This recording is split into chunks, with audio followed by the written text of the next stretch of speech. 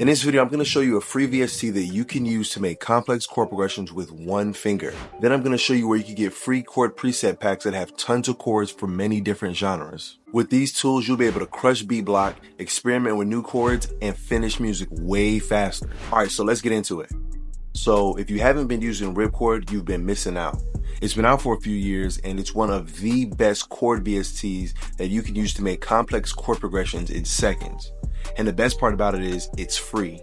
You can easily download it from the link in the description. If you need help with installing Ripchord or instructions on how to use it, you can find that underneath the download link. I have also linked a video walkthrough in the description that goes over how to do everything in Ripchord. So for this video, I'm just gonna go over the basics so that you can start producing right now.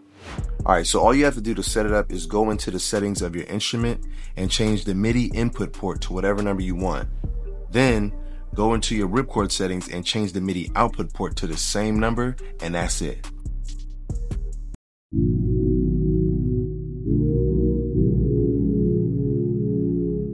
To add a new preset, click this gear button at the top right corner and go to Input Preset Files. Find the location of your .rpc files and then select them. When you click the presets button, they should be in there. Alright, so in the GUI you have the record button, which records MIDI, the note velocity switches, transpose switches, and the strum switches. These knobs change how hard and soft you play the notes. This controls the direction of the note velocity strum. This controls the amount of note velocity strum.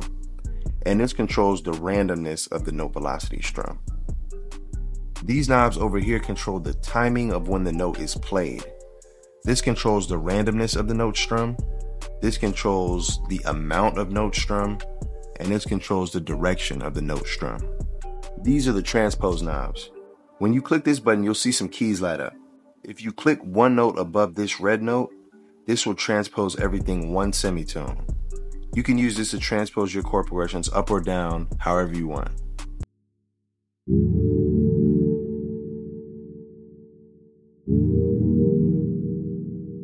Now this last button is the MIDI bank. Once you record your chord progressions, you'll see it light up. You can then drag and drop your chord progressions onto whatever instrument you want. Sometimes I use my mouse, but using a MIDI keyboard is way easier. So now that you know how to use Ripchord, let me tell you the best kept secret. So Ripchord already comes with a bunch of presets ready to go. But in the description, I left a link to another YouTube video by Musician Paradise that gives you access to tons of chord presets for Ripchord for free. You can quickly look through whichever chord packs you want, or you can just download them all. Okay, so now you have all the chords that you could ever need, but that's just the start of making a beat, right? Next, you should watch this video to learn how to spice up your chord progressions and add melodies to them. I'll see you over there.